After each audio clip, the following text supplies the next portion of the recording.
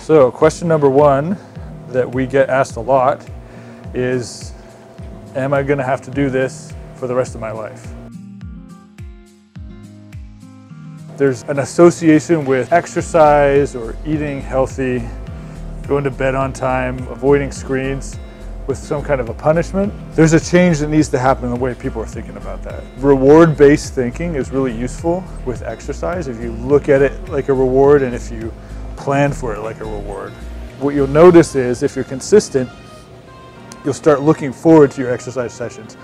So when I was a kid, my dad was really clever and he said, okay, if you get straight A's, if you get really good grades, then I will let you come to the gym with me and we're gonna work out together. So I was really motivated and I got straight A's and he took me to the gym and started to teach me how to work out.